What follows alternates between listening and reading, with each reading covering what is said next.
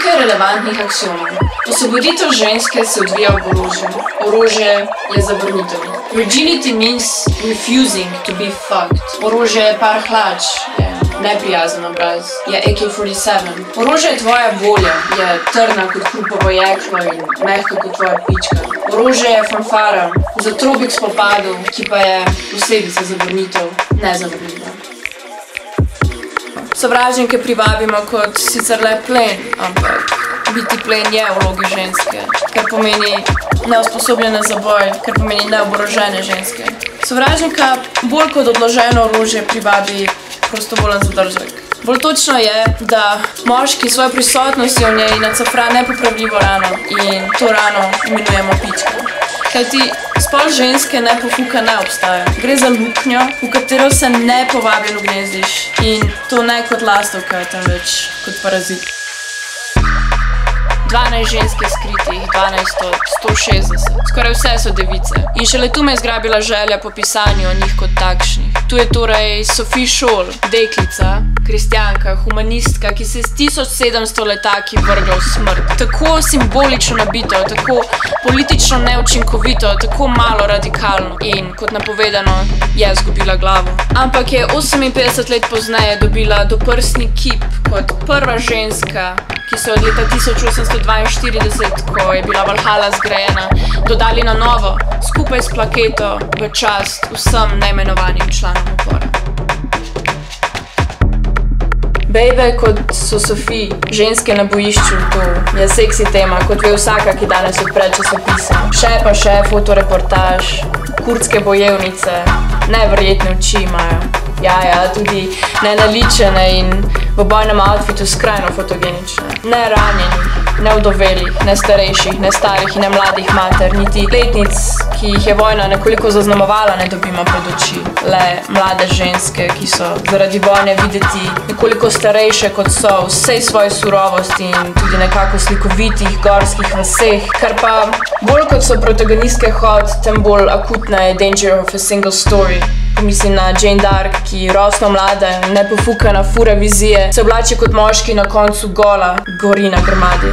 Najbolj eksotična vseh žensk in je tista oborožena. Ostajajo izraelske vojakinje s kristalčki in z dolgimi valovitimi lasmi. Na koncu vse rabijo ljubezen, vse rabijo oporo, rabijo nekoga, ki bo nažgal. Seveda tukaj govorimo o prevratu.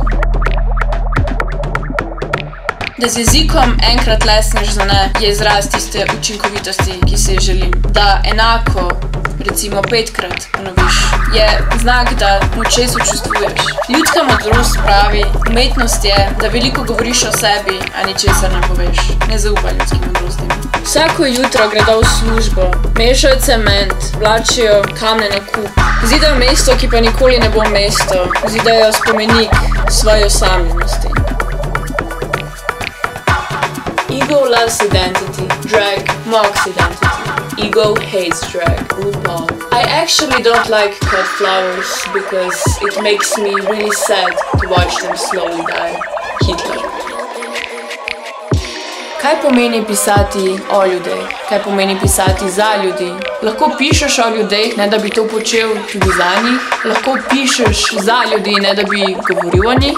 Je vsebinska praznina že izdajstvo zadeve same in kaj je zadeva? Poštena parafraza je osnova za vsako dobro praznoverje. Recimo, bilo je nekoč, recimo, bilo je nekoč, kar je nekoč bilo, recimo, nekoč ob nekem času, recimo, živela je, bila je, recimo, bilo je nekoč, bilo ni nikoli. Odstavek označuje konec smiselne celote. Razmerja ostajajo nedotaknjena. Otip, mehek, roza, list, venerine mukolovke. Ki je pas za plen. Vagina dentata, kdo reče vagina, je najverjetneje izgubil razum. Vsaka nožnica potrebuje svoj nož, tektonske razpoke, Venera, zvezda Danica, Afrodita, bliža se dan.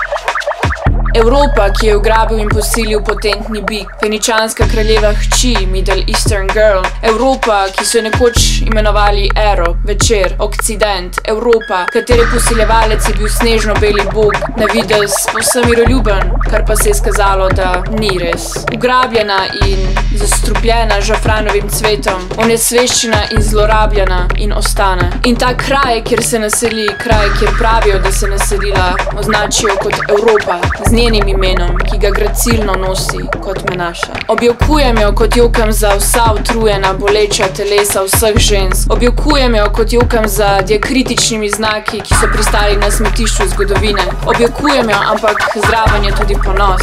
Njeno ime poznamo še danes in ga uporabljamo, ne da bi trenili, ga izrekamo. Podobna predstava, da nemški sinti in romi več ne obstajajo, da obstajajo samo tisti brez jezika, necivilizirani iz Balkana in tisti divji iz drugega sveta, ki se priseljujejo v naše socialne sisteme. Njihovo tajno ime se glasi Romuni in Bolgari, na veliko razočaranje vseh tistih belih rasistov.